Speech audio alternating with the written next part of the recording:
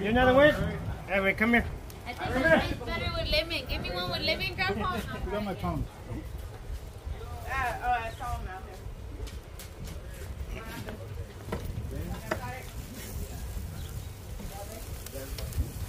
It's good for kids to learn.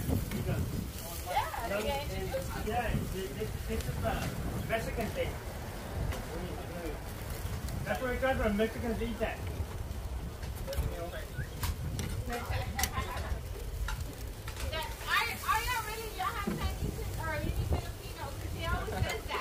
Filipino?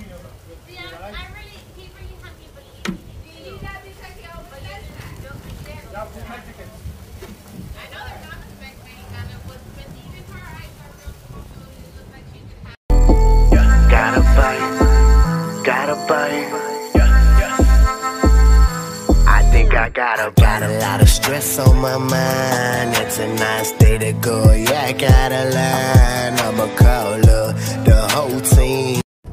Hey, what's up, guys? This is Team Hard Life Captain Alberto Zertuche and you already saw the video of me prepping the jalapeno poppers. Well, we had a few people asking how does that work out on the grill. Well, I've got the grill going. I'm also doing some baby back ribs. Well, not even baby back. They're pork ribs, but they're a lot bigger than what we normally get. And uh, we got some beef ribs in there. Got sausage links. Um, they're deer jerky. Um, also got some chicken fajitas. Gonna do some beef fajitas as well. But yeah, there's my pit. it is old. It's been in the cooking sensations of our videos for about two years now, if not a little longer. And yep, just putting it in there for sure. So we'll see what's up over here with the kids who they want to ride. So.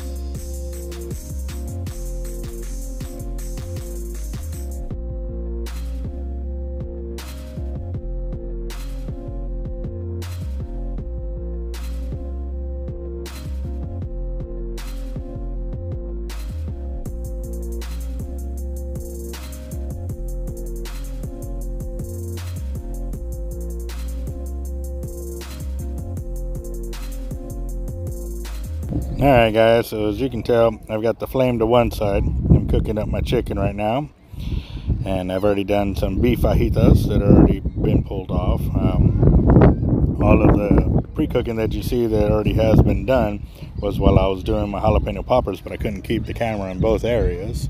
And uh, it's because I only have, brought one tripod instead of both of them. But there we go, still smoking it up and letting the fire build up just a little bit more so I can get that heat going make sure everything can rock out all the way across.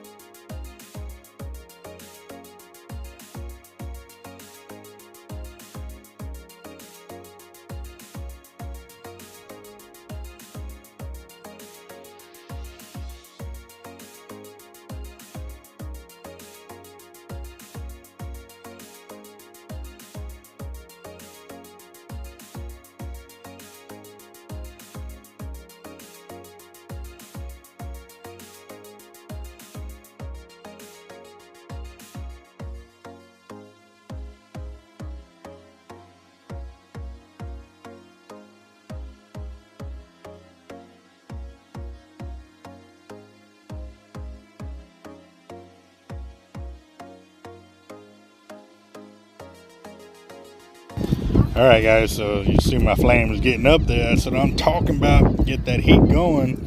I need my ribs, my pork ribs over here to be able to have enough heat so that they smoke up pretty well.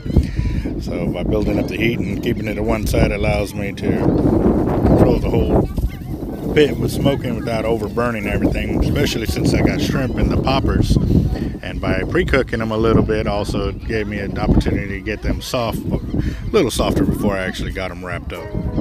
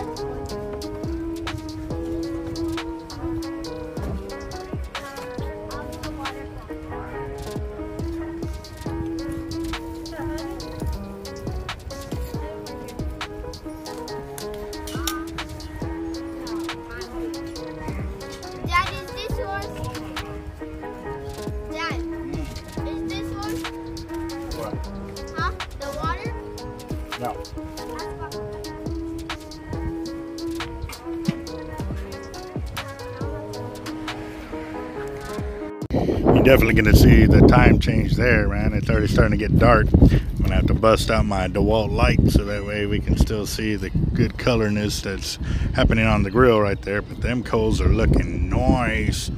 Adding in some more mesquite into my pit there so that juiciness. Oh, yeah.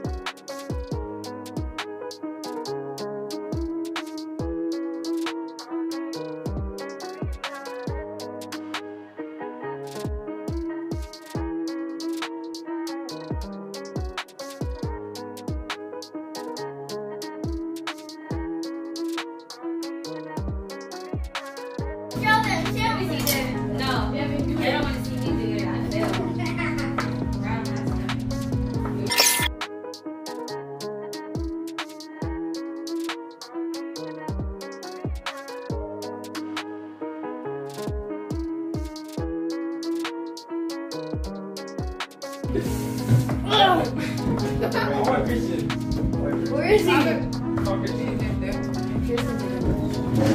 Christian! Mom, Where's he going now?